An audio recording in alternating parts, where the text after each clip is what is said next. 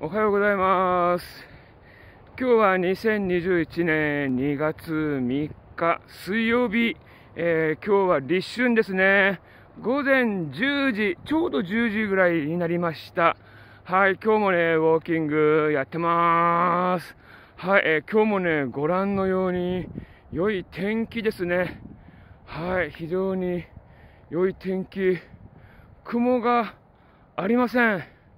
雲はほとんどないんですけれど、えー昨日よりはちょっと寒いかなと、えー時折、えー冷たい、え風がふーっと吹いてますけど、はいまあ、そんなね、ブルブル震えて寒いというわけではないです。まあ、太陽がね、出てますんで、日差しの方が 強いし、まあ、歩いてるんでね、ちょっと、えもう体内がね、熱くなってきて、え汗もね、え出てきております。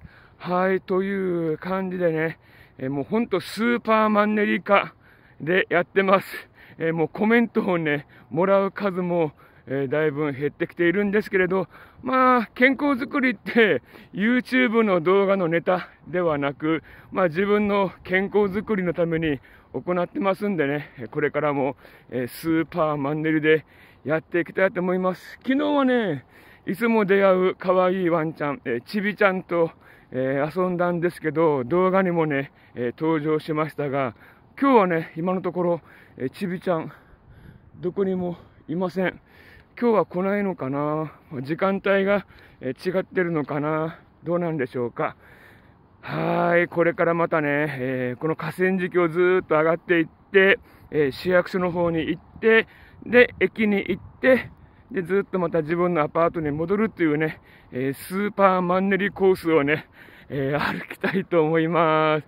はい、暑いな非常に良い天気でございます。はい、じゃあ、今回は、えーこの辺で失礼します。またねー。ポチッとな。